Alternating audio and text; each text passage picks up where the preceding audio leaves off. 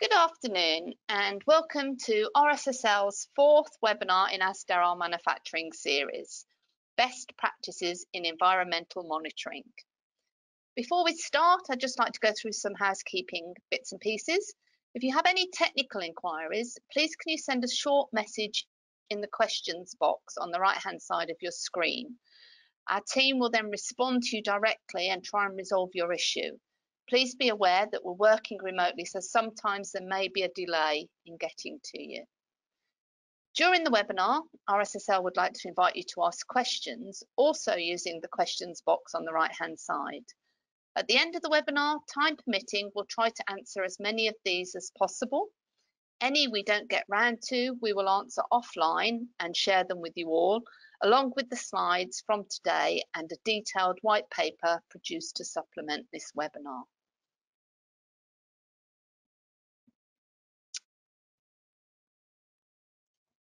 So, welcome to the fourth in our webinar series of sterile manufacturing. Many thanks to the suggestions for this webinar. If your title didn't get chosen, keep a lookout because RSSL hope to over hope to offer more webinars over the autumn period. If you didn't attend our first three webinars, don't worry, they're all still available to download on demand from the RSSL website. As many of you now know, my name's Annette Russell and I'm the sterile manufacturing lead here at RSSL. My role is to help facilitate our clients' requests supported by a team of experts. If after the webinar you'd like to learn more about our offerings, please contact me direct via the email or the telephone number that you can see on your screen at the moment.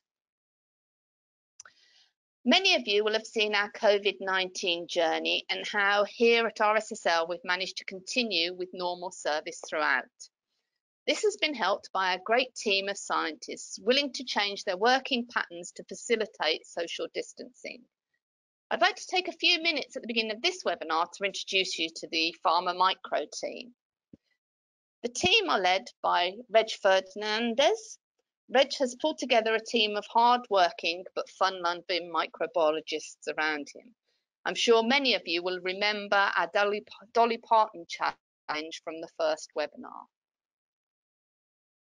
Jamie Tempest, the tall one, and Thomas Gosling work with Reg to pull our new sterility suite together, which is now up and running, as I mentioned previously.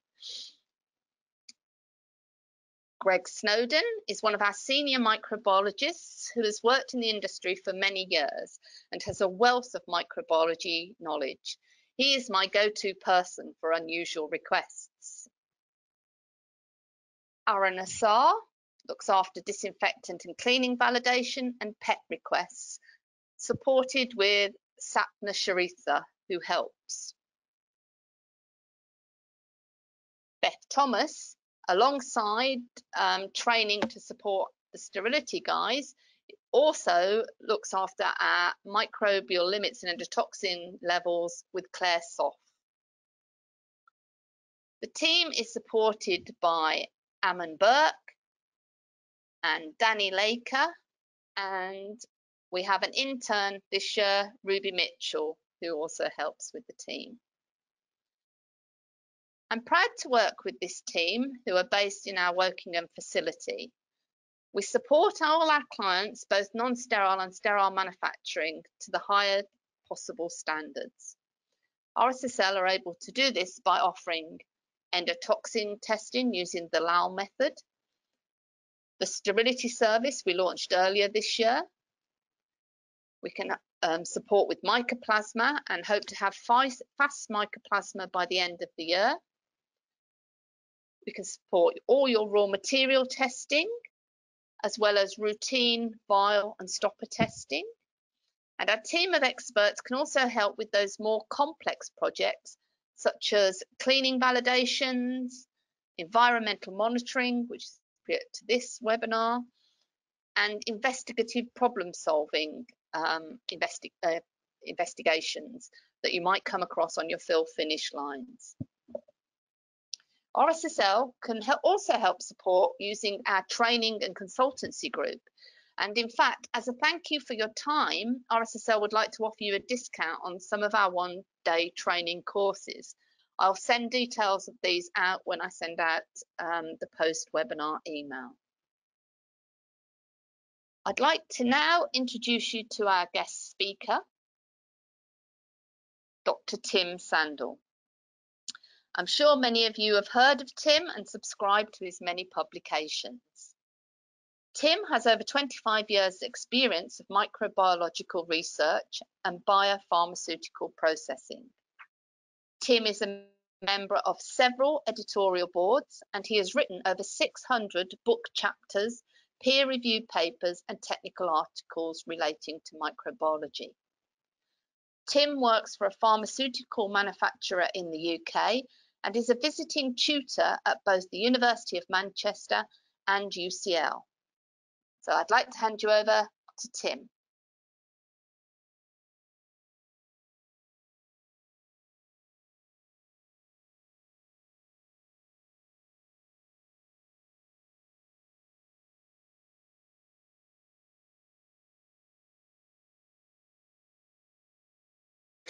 Okay, thank you very much and uh, welcome to the webinar and I'm very pleased to be with you um, this afternoon.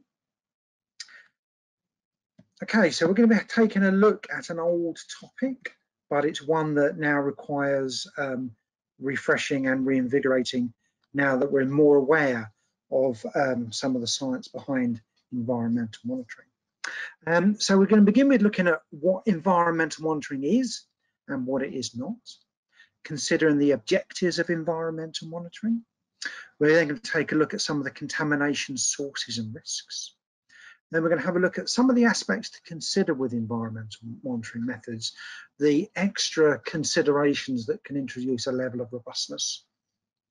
We're going to take a peek at rapid microbiological methods, then consider the core elements of the environmental monitoring program. That includes what we monitor, when we monitor, and how often should we monitor?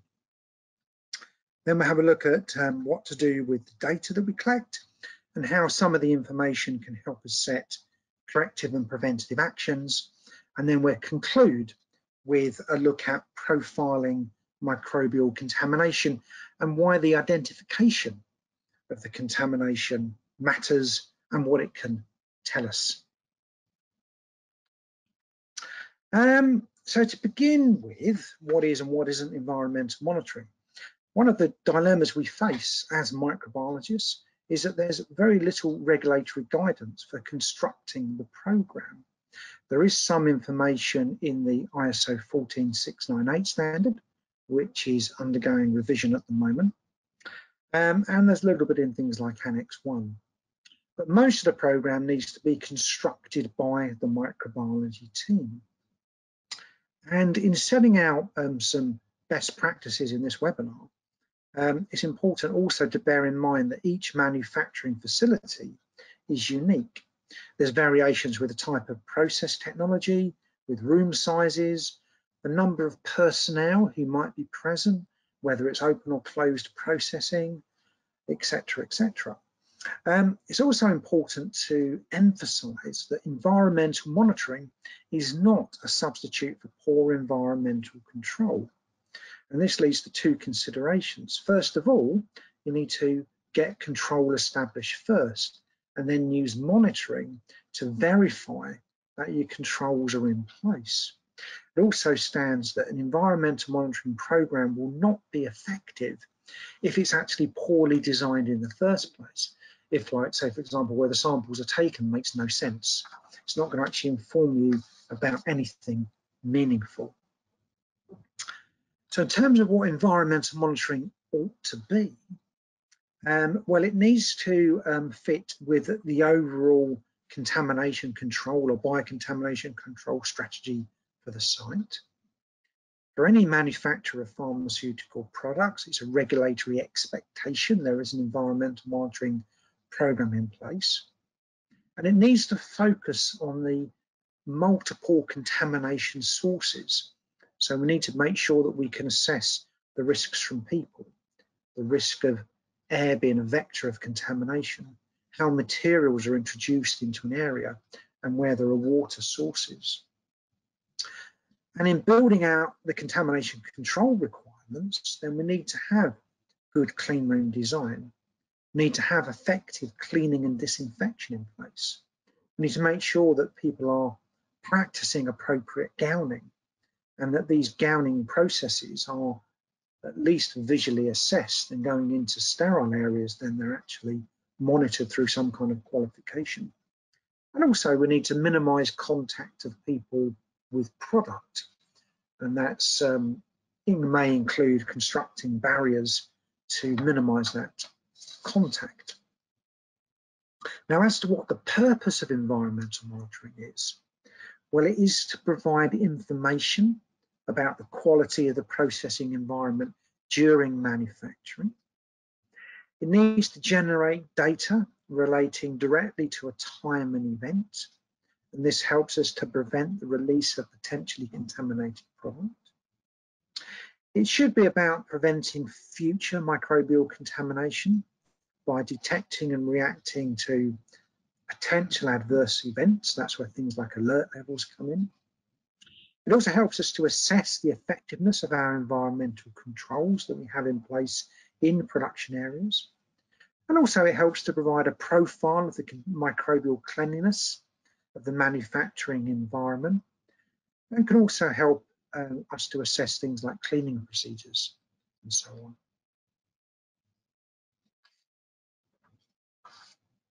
So what makes for a good environmental monitoring um, program?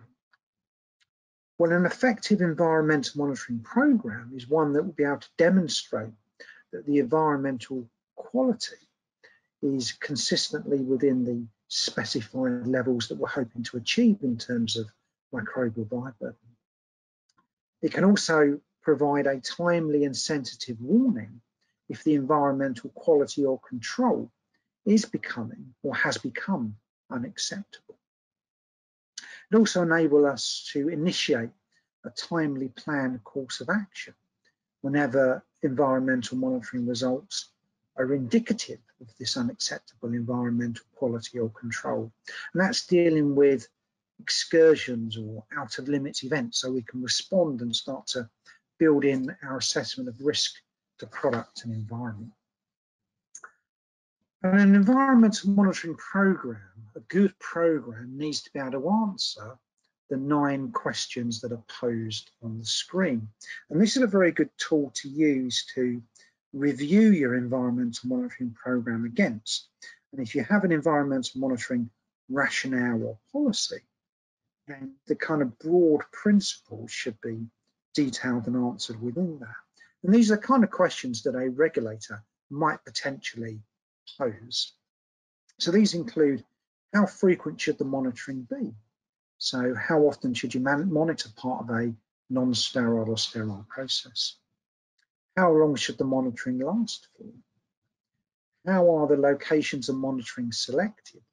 And here the inclusion of site maps indicating rooms and process flows and sample locations is very useful. You also want to be able to test the robustness of the cleaning and disinfection practices by viewing it against and how well the monitoring stacks up. It's very important you describe the sampling procedures and sample handling and who takes the samples. You also need to describe and justify the incubation regime you want to outline what methods being used for data analysis and trending. You want to say how alert and action levels have been derived at and outline the general approach that will be taken to responses for action level excursions and upward trends and also outline who's responsible for what in the overall execution of the program.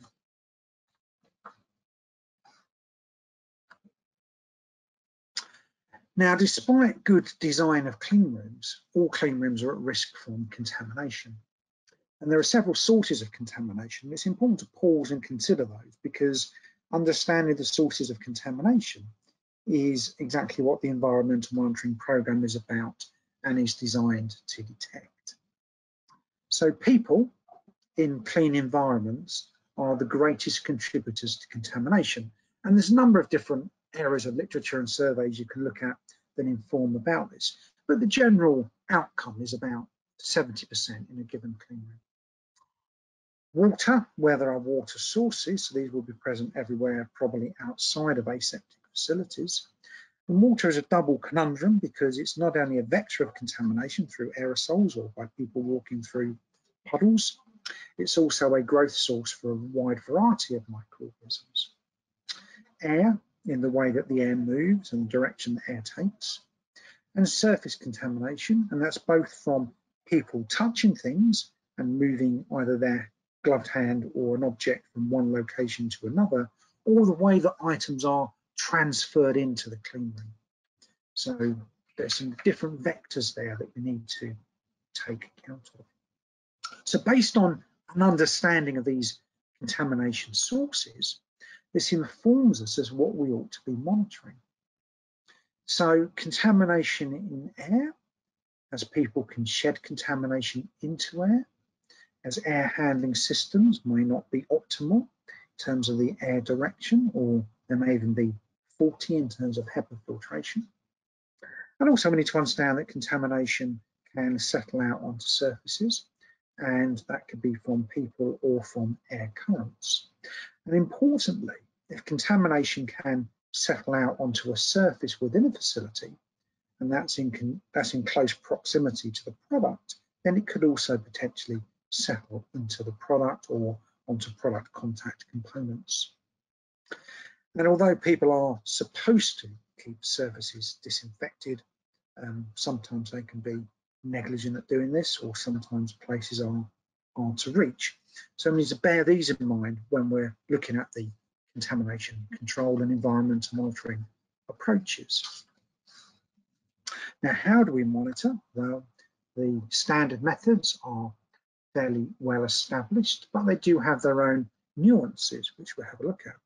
But the standards are settle plates, which look at gravitational settling, particularly for larger particles as they fall out of the air. And the closer air gets to a surface and the heavier the particle, the more likely it is to fall. Active air samplers that give us an indication of the number of microorganisms within a set volume of air. Contact plate and swabs for surface sampling. Particle counting, and the rapid microbiological methods that are emerging as well, which we'll have a look at in a second as well. So although these classic techniques are well considered, we do need to consider a number of aspects about them. So beginning with air samplers, first thing is that there's a number of different air samplers on the market. There are filtration samplers, there are impaction samplers, there are centrifugal samplers and other models. And each of these air samplers works differently. And even different models based on the same design can differ. So when we're selecting an air sampler, we need to know what the cut-off efficiency of that air sampler is. And here we need to take note of something called the D50 value. And the D50 value is the size at which half of the particles collected and half of the particles will pass through the sampler. So particles that are bigger than the D50 value are more likely to be collected with increasing efficiency and particles that are smaller than the D50 value are going to be collected with less efficiency. So we want to make sure that our particle counter can pick up a relatively large number of smaller sized particles. We also need to note the relative biological efficiency of the sampler, which is a test that will be conducted by the particle counter manufacturer using a bioaerosol chamber and the injection of a known number of microorganisms per volume of air.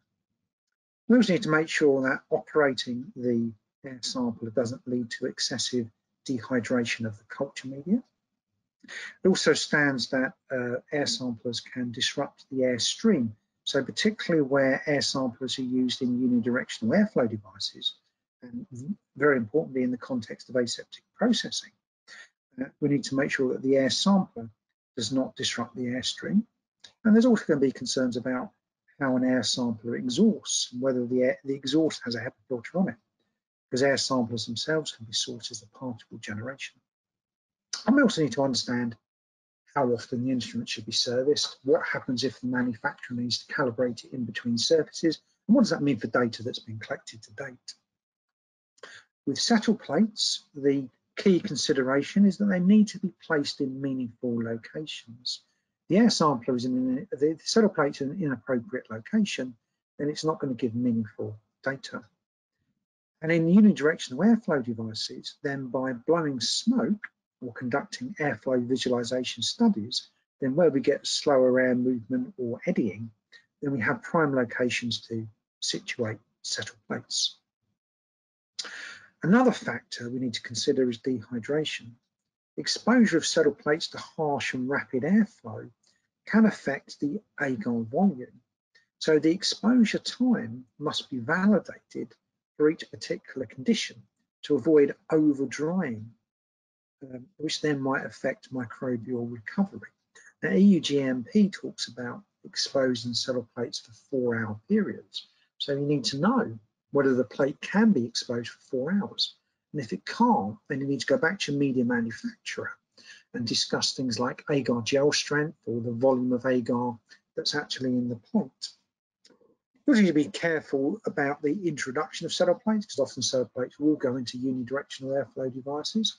You need to be very careful about the way that these plates are introduced into key areas. And if plates are irradiated, as they need to be for aseptic areas, we need to make sure that the irradiation process also doesn't affect the growth promotion properties of the plate. With contact plates, these are effective for flat surfaces and for finger dabs and for garments. And they need to have good uniformity of the dome of the agar plate.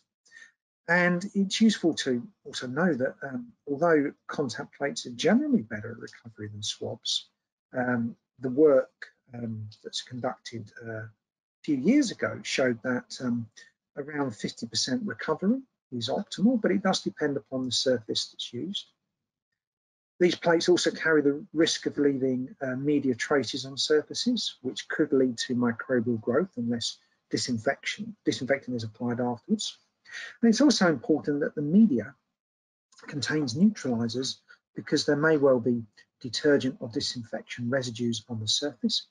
And where you're rotating disinfectants, you need to be sure that the neutralizer will work against both disinfectants used in the rotation. Some companies do use applicators for plates, which can standardize the pressure and standardize the time to create a more consistent sampling. With swabs, these are good for irregular or thin surfaces and probing difficult to clean surfaces. It's important that the swab is wetted because that enhances recovery. And there's a big difference between um, plain swabs and flocked swabs. And there's a few um, papers been published to show that the recovery from flocked swabs is many times greater than with plain swabs. Um, so it's, it's very important to have done some evaluation of the swab that is actually used. With particle counters, these are useful for assessing um, airborne particle concentrations. And particle counting for classification and particle counting for routine monitoring are different um, activities. Within Europe, we're required to look for two particle count cutoff sizes, both 0.5 micron and 5 micron. Um, and although the monitoring gives us a level of particles, we don't actually know what proportion of those may well be viable microorganisms, but it does give us a indication of what the risk of um, viable contamination might be, especially when we're looking at the larger size particles, because the larger size particles are more likely to be um, rafts of skin matter, for example, that could be carrying microorganisms. And for things like um, aseptic processing, then uh, the particle counters in terms of providing real-time data can allow a filling operation to be stopped. But for other types of clean rooms in non-sterile areas and in grade C and D clean rooms, um, then again, constructing regular particle counting gives an idea of how well the room is performing And if we add in things like recovery rates as well, the cleanup rate testing, this can give us the indication of how well a room can address a contamination event. But with particle counters, we need to be mindful that the data needs to be relevant. Particle counters should be located close to an activity in order to generate meaningful data. To ensure accuracy, these locations should be risk-based, not simply randomly distributed. The particle counter should be calibrated and the calibration standard for particle counters is ISO 21501, which part four deals specifically with particle counter calibration. Um, it's important that particle counters for monitoring unidirectional airflow devices fitted with isokinetic probes, these are the stainless steel probes, because this can make sure that the air volume going into the counter is the same rate as the air volume from the unidirectional airflow device. The tubing length of a particle counter needs to be less than one meter. Otherwise, it's been proven there is a drop off of particles, and the larger the particles, the bigger the drop off effect. And we need to be mindful that particle counters can be prone to false uh, events if we're spraying glove, near, glove spray nearby. And they can also be easily contaminated if something gets into the particle counter. Also emerging onto the market are rapid microbiological methods. Rapid microbiological methods aim to provide data that is more sensitive, accurate and faster when compared with conventional growth-based methods. And one example of such a technology are spectrophotometric counters. And these use advances in light scattering and optics together with analytical software. And these provide real-time data about both general particles and biological activity in the air. Uh, so the instrument counts the number of particles in a sample of air, both inert and biological, using two detectors. So with biological particles, it's using a fluorescence detector to look for certain biological markers, such as NADH, riboflavin, and uh, DPA, which is the material of, of the bacterial spores. Um, so just an example of what these types of technologies can do. This is some data that I um, collated. So with these charts, the bio readings are in red and the particle counts that could include viable and non-viable particles are in yellow. And graph one shows the normal operation conditions of a clean room prior to a shutdown. Um, the second graph gives an idea of um, the conditions um, during a shutdown period. Another graph shows what's happening during cleaning, and another one shows the recovery time. So these are just examples about understanding the clean room and understanding what's going on in the clean room. So it's just additional data and an example of an emerging method. Okay, so let's look at some of the aspects of the program that need to be defined. So first with frequency of monitoring, it's easy with sterile manufacturing because Annex 1 says monitoring needs to be continuous. But for other types of clean rooms or pharmaceutical processes, then we may need to risk assess this. So if we have a large facility, we may want to have a look at a number of factors. And there's some examples of some of the factors on the right-hand side of the slide.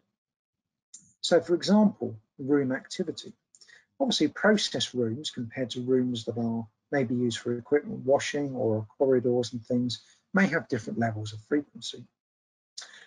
We also want to factor in how long the product is exposed for, whether we have open processing, the room temperature, so a cold room may need a lower level of monitoring than a room at ambient temperature, the process stage. We may want to increase monitoring as we move towards the finished product or the final formulation. The duration of process activities, how many people are present in the clean rooms, and whether there's water exposure nearby, because that can, can also create a level of risk. So we need to outline frequency of monitoring by weighing up some of these factors. In terms of the conditions for monitoring, um, then it's more appropriate to monitor clean rooms when they are in operation. And here terms like in use, occupied, dynamic, etc. are used. But this should be for the primary data. However, monitoring at rest or in the static state can be useful for benchmarking. So if you do pick up a very strange array of air sample results, for instance, checking the room at rest can help eliminate um, ingress from an adjacent area or a faulty HEPA filter or something, and you might then be able to attribute that the contamination event more to people. So there are some other information that can be gained, but for your overall assessment, testing the room to its maximum setting with, with people, with equipment running and so on, is a more robust way of assessing that process. The time of monitoring is important. Uh, now for standard monitoring, for a standard uh, or beginning of the process, it might be that any time is equal case, but there are other times when we want to get accurate uh, monitoring tied to specific events, particularly with aseptic processing. So we want to assess things like the setup of a filling line. We may want to assess the clean down of equipment or the strip down of a filling line, the loading of freeze dryers, the loading of an isolator, or perhaps the operation of a centrifuge or a CIP unit in case we're concerned about particle count generation. Or we might want to target open processing, for example. So considering the time of monitoring is another important step. In terms of for how long monitoring should last for, um, well, again, with um, aseptic um, processing, then we have some reasonable guidance. We would expose settle plates for the entire duration of the activity, but we may well take active air sampling at periodic junctures within the process. Again, for aseptic processing, we'd target finger plates for things like after a connection activity, and also for people present in areas at random times. We also need to assess any interventions, particularly uh, personnel sampling, and we may want to sample anything that's been inadvertently touched, although after the event, because the monitoring itself can be invasive as well. For other clean rooms, for non-sterile areas and for grade C and D areas for sterile on non-sterile processing, then we do need to make sure our monitoring is for a defined period of time. And the times to be sufficient, the duration, to enable active air samples to run so that at least one cubic metre of air is assessed, and the settle plates are exposed for a sufficient time. And some organisations will follow the four hours, some will go for one hour, but it needs, still needs to be for a reasonable time to capture the overall significance of the activities taking place. Surface monitoring should also be performed at some point during activities. And often with um, lower grade processing, I said earlier, it's often considered that um, no given time represents worst case. And if we can be proven that we have equal case, then we can go and target our monitoring at any time. But what we want to avoid is always going out at the same time. It wouldn't look good if all the monitoring was always done on a Monday morning uh, for a 24 hour process. There should be greater overview to give that level of confidence. In terms of selecting locations for monitoring, then HACCP, Hazard Analysis Critical Control Points, is a very useful tool to use. And this is essentially process mapping. And it helps us to focus upon where personnel interaction is the greatest, what level of activity is taking place, and whether that's consistently high or whether it's variable, whether contact with critical surfaces can occur, what the flow of people and materials is, where we want to target checks on cleaning, if there's areas in the room that appear slightly inaccessible to make sure they be, they're being cleaned and disinfected properly. We need to be mindful to make sure that the act of environmental monitoring itself is not contributing to contamination. It might be that sites with a poor history may need to be monitored more often in order to show that we are getting back into control. And again, the HACCP framework guides us to um, determine the areas where contamination might be greatest, but then making an attempt to reduce those contamination levels and then using the monitoring to assess that we have driven those contamination levels down. Again, as I said earlier, it's not about monitoring for monitoring's sake. We also need to be mindful of the culture media that we select and use. Um, and there's often a discussion about whether we use one or two culture media. So should two media be used, one to recover bacteria and one to recover fungi, or is one medium suitable? Well, I did a study um, looking at the various factors about using two media or one medium at two temperatures or one medium at one temperature. And it was found that the two temperature model uh, was um, the most effective, but there is obviously discussions around what the temperature sequence should be, low to high or high to low. And it was found out through these experiments that going in at the lower temperature first did not inhibit bacteria and allowed the optimal recovery of fungi. Now, this may differ in different facilities, but this is my own research. But it's important to have some kind of rationale to how the incubation regime was selected. With any environmental monitoring program, it's important that monitoring limits are set. So for newly built areas, then regulatory guidance values can be used. But going forwards, an alert level needs to be set, even where um, regulatory action levels can be taken. And in non-sterile facilities, alert and action levels need to be uh, formed. To set limits, though, it's important that you select either a good period of time, such as six months or one year, and have a sufficiently large number of samples, ideally more than a thousand, but you could run some processes on um, more than 100. And then you want to adopt an appropriate statistical technique, bearing in mind that the clean room environmental monitoring data will not be normally distributed. So two and three standard deviations is generally not reliable. Something like a percentile cutoff approach, in my view, is a more effective way for setting these limits by going with either the 90th or 95th percentile. Review of data is very important because there's no value conducting environmental monitoring without looking at the data. And the data needs to be interpreted to ascertain what the true trends are. And the way you would do that would be through trend analysis. And this is because data often originated from a single sample or event is often not significant. What you need to do is take the broad overview and here graphs, histograms, or even statistical process control charts can be applied to help with the data review process. But with any approach to trending, it's important to define the time period and to include as much information as possible to help to identify patterns. So know the locations, know the dates, know the times, and then you can overlay things like, has the room design changed? Are we suddenly running a new piece of equipment? Have there been any shift or operational changes? Are there new teams of personnel? Is there a seasonality factor? Has there been any deviation raised about HVAC operation, rises in temperature, airlocks not working and so on. And superlaying this information over data trends can be very useful and also helps with out of limits investigations. So the investigation of environmental monitoring level excursions should ideally be covered by an SOP. And there should be a SOP for environmental monitoring and microbiology, a, a general chemistry oh, OS SOP, for example, would not be suitable.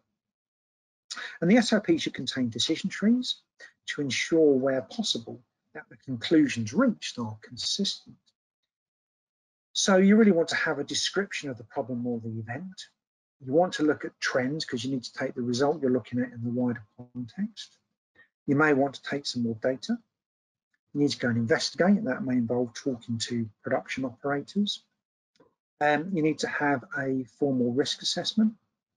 You ideally need to determine a root cause or most probable root cause because the complexity of microbiological data is it sometimes can be difficult to attribute an exact root cause. You want to consider some CAPA, so that's going to be based on, on what happened. It might be a weakness with gowning, for example. And then you need to summarize the um, event and make sure everything is appropriately documented. Springing out of investigations are corrective and preventative actions. And this is where you can link trending to specific events. And you might be able to get some information here, for example, you know, you might find that after a HEPA filter change or a maintenance event, the microbial counts have gone up. So you will need to introduce new controls around engineering future um, events. You may find that the disinfection regime needs to change. Um, there might be greater control of temperature or humidity, for example. Or it may be that um, some aspects of staff training are inadequate. So it's just some examples of some of the CAPAs that can emerge. Now, characterising microorganisms is of importance, and this is important for several reasons. It can help us look for changes from the norm, and that might signal cleaning or disinfection concerns. We might need to do this in the event of a sterility test failure, and here we may need to use genotypic methods to look for exact matching. Or we might just be able to use identification to help us group microorganisms into different categories and try and ascertain the origin of contamination. So for example, we find an abundance of gram negatives. This may indicate a water source, for example.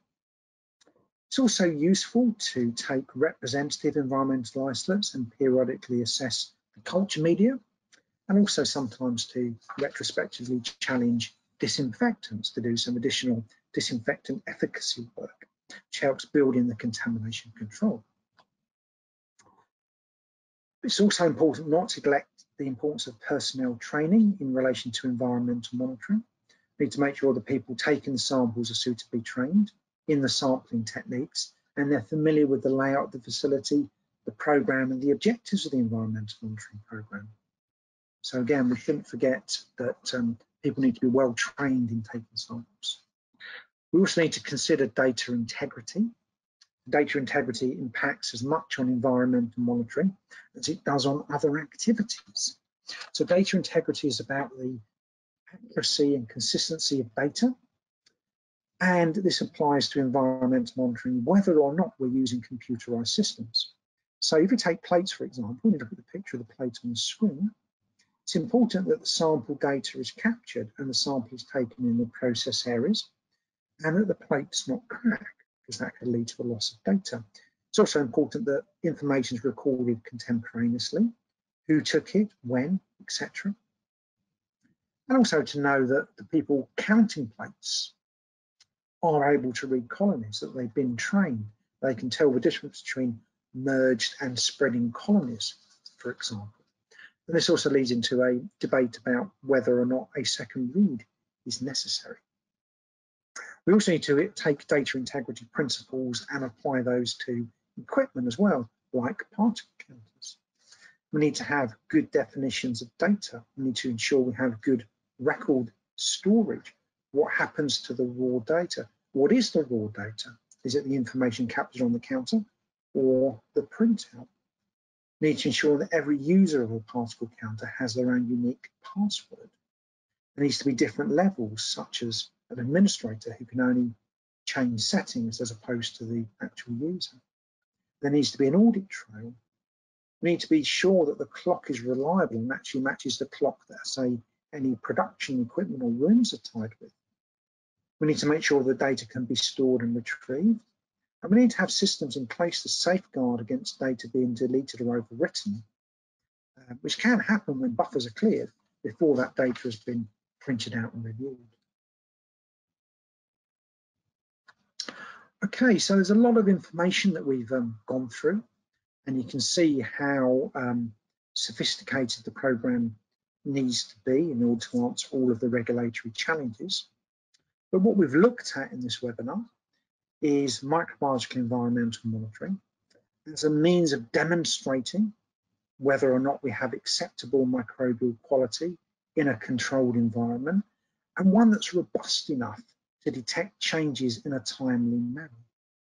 So this is all about the collection of data relating to microbial numbers recovered from samples of air, surfaces and people, plus particle data, and how much we can signal potential changes to environmental conditions.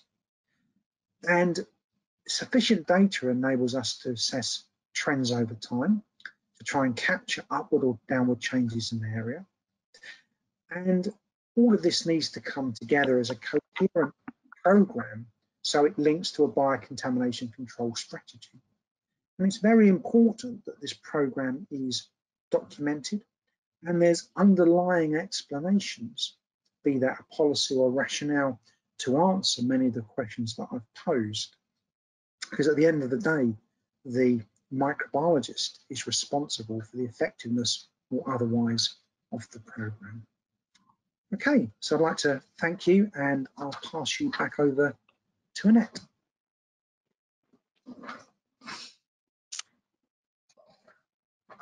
Okay, Tim, thank you for that. That was a very informative uh, outline on the best practices for environmental monitoring.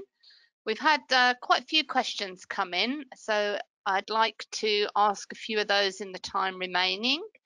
Um, okay. So we've had one from Eugenius. Um, due to the recent COVID-19 pandemic, how likely do you think that future issued guidelines may require the detection and identification of viral particles in critical classified areas?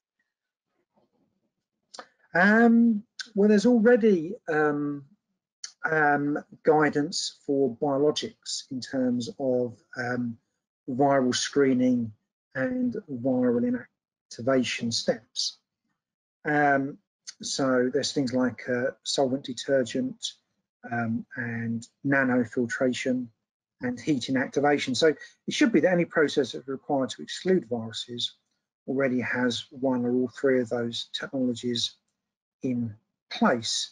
And there's nothing special about the novel coronavirus, the SARS-CoV-2 virus, um, that makes it any more difficult to kill through these processes than any other virus. Um, products that don't currently require viral control are not likely to need any additional viral control. However, that companies should have good measures in place to protect um, their people working in facilities. Um, and this is where actually one of the safest places to be is in the clean room because you're already wearing the appropriate clothing and the air change rates are very fast. Um, but I don't think there's anything specific about COVID-19 as an aside from general viral controls. I think we're, we're all getting used to seeing people in face masks. so, um, I've had yes. a, a, question from David who's asked, what is the typical pore sizes of the HEPA filters? Um, well, HEPA filters, um, HEPA filters have an efficiency um, rating for particle exclusion. So it depends on the class of the HEPA filter. Um, so there's a European standard HEPA filters, which is um, EN1822. And the highest grade of HEPA filter is an H14 class filter. And the H14 class filter is designed to filter out 99.97% of particles of 0.3 microns larger. So that means theoretically, if there's 10,000 particles in the air, only three particles of 0.3 or larger could actually um, get through. Um, there, and they tend to be used for grade A and grade B areas. Some facilities use them for C and D as well, or other facilities use H13 class filters, but generally pharma doesn't use anything below 13 or 14. Um, the electronics industry use um, finer filters ULPA filters, ultra low penetrating air filters, but pharma doesn't generally use those, one, because you don't need to filter any further, and two, they're, they're very expensive to operate in terms of the utility bills. Right, okay, thank you. Um, I've had a, a, question from Elena that some facilities monitor for anaerobes and thermophiles as part of routine monitoring. Is there any need to do this? Um, probably not, and certainly not for thermophiles. One, um, you just don't find them, and two, they have no ability to, to reproduce. But I have I've played around looking for thermophiles and even I've never come across any organisms that are specifically thermophilic. I know some places who handle biological indicators may do a little bit of monitoring, but as a, as a rule, it doesn't really add anything. Anaerobes generally are a low risk um, for environmental monitoring because they cannot um, reproduce if they're strict um, anaerobes or what we'll call obligate anaerobes. The only area where anaerobes do have a part is where gases, um, sterile gases and sterile compressed air plays a part in relation to the product. So if we're using that to add headspace to vials, if we're, if say compressed air or using that to help put stoppers into place, or if we're using nitrogen in relation to freeze dryers, then there may be a role for periodic anaerobic monitoring. Where there's greater emphasis is ensuring that um, in terms of sterile products is that the sterility test medium can grow um, anaerobes. And although um, Clostridium sporogenes is included in the growth promotion, there's a greater argument for adding what used to be called Propionibacterium acnes, but it's just been reclassified as Cutibacterium acnes to that panel because that's by far the most common anaerobe associated with people around the forehead and around the hair follicles. So generally EM no unless you're using gases. I think there's actually a case for broadening the sterility test medium panel. Okay, excellent. Um, I've got a question from Eugenie saying, will active air sampling interfere with the airflow in a clean room, which would lead to a risk to that airflow? Some some air samplers So I did touched on this a little bit. Um, that there's a whole range of different uh, companies who make air samplers, and there's a range of different ways they work, and they're not all the same. They differ in their particle size, collection efficiency, their biological efficiency. If you've got air samples in in say uh, unidirectional airflow devices, the best ones to go for are the fixed head ones. Um, where you are placing air samples, you need to make sure one, they don't disrupt the airflow by causing turbulence. And you also need to make sure that the air sampler isn't exhausting an excessive level of particles. And in some really bad models, you need to make sure that it's not spinning out bits of agar or small fragments of agar as well. Um, so the thing is that if you're going to go and buy an air sampler, there's a number of questions that you should pitch to the manufacturer of the air sampler, but the actual assessment in the clean room or the unidirectional airflow device is one that you'll have to have a look at yourself. Thank you. Um, so I have a, a, question from Richard saying, should action limits be set at the maximum described in Annex 1 or should they be lower in order to take action before you breach Annex 1? Um, there's different schools of thought on this. Um, certainly you need an alert level and the alert level should be the signal that you could be um, about to breach um, the um, action level. Um, I think when you get obviously grade A is um, currently one. Uh, when the new Annex 1 comes out, it's going to be changing to no growth. Um, with B, where the action is typically five, chances are you have an alert at two or three. So I don't really see any value in having an in-between level, you know, an alert and action and then an EU GMP level. However, for um, when you get into C and D areas, then yeah, there may be some mileage in having something a bit lower, allowing you to take uh, action earlier. But the extent you take action also, I guess, depends upon what's in place for your alert level breaches. Some some companies just note their alerts, and others are almost taking action in the event of the alerts anyway. So it's partly one of definition of how the alerts responded to, and I think it depends on the grade of the clean room and how, how you are able to respond to that. So I don't think so for A and B. C and D, yeah, potentially you could, especially if you've got very, very good data, you could bring those down a bit to make sure you're not gonna, you can do something before they're exceeded. Okay, excellent, thank you. Um, probably got time for a couple more questions. We've had quite a few about powder media fills and particle counting at point of fill. Mm. Um, obviously, yeah. people see this as a challenge. Do you have any recommendations about that? Um, yeah, I mean, slightly higher particle levels are allowed, provided you've shown that you've done all you can to minimize the generation of particles and you've done sufficient experimental work to show that those particles are absolutely from the product and are not in any way microbial, which involves monitoring the machine static, monitoring the machine, the conveyor belt running or, or the blow fill seal process without the product going through, then put the product through and and then also showing that the that you can achieve the necessary recovery time. So one often overlooked um, issue with um, particles uh, is not forgetting not to do the recovery test or the cleanup rate test. That can be quite meaningful as well. But it is possible to put together a case and have discussions with, with the regulator if you can prove absolutely that what the source of those particles are. Okay, um, and I've got a, a, question from Judy on particles again. Is there any correlation between viable counts and particle counts? That's an interesting um, subject, and, and, it's one that's lacking um, a, a, detailed study. There are some people have looked at it, and there's some.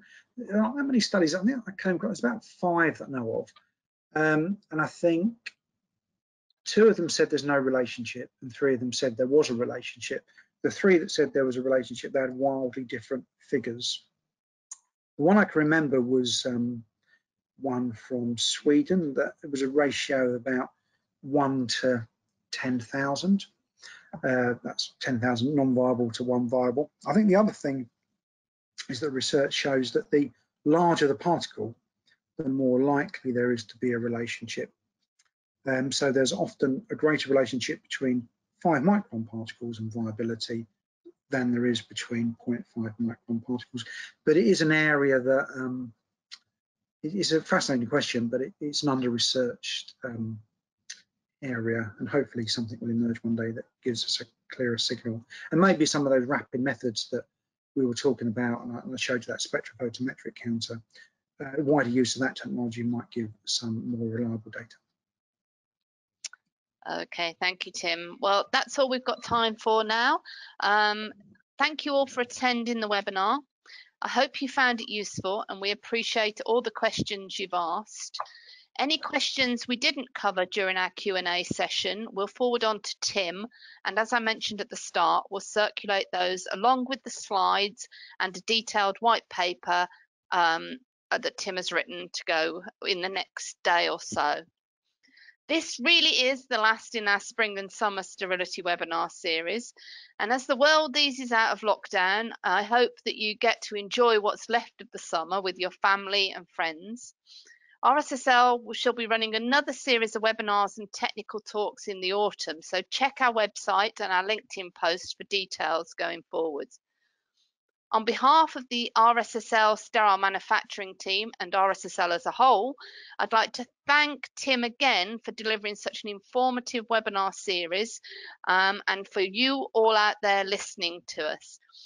Please don't hesitate to contact me if you have any questions or if you need any support for any projects. We're here to help. Have a great summer. Thank you.